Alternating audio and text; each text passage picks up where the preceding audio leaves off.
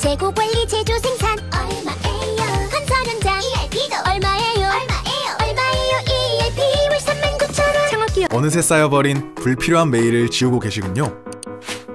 탄소를 사그림 줄이셨어요. 화면 밝기를 낮춰서 눈 건강을 챙기신다고요?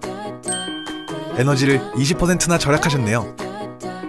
오, 영화 볼 때는 항상 휴대폰을 꺼두신다고요?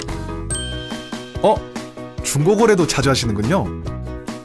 그렇다면 여러분은 이미 탄소 중립을 실천하고 있습니다.